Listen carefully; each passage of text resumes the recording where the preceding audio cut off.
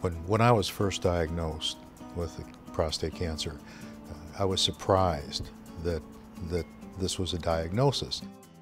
Having gone through this and what I believe, at, the, at least at this point, is a successful treatment, uh, it's just critical that everybody stay on top of their health and deal with these kinds of issues because this was not a bad experience. As a matter of fact, at USMD, it was a wonderful experience. I actually got to the point that I enjoyed coming here because of the efficiency, the friendliness of the staff, and I felt that it was, it, it was uh, going to work out to my best interest. So I, I just encourage anybody that, that it's, it's not a major problem if you deal with it up front.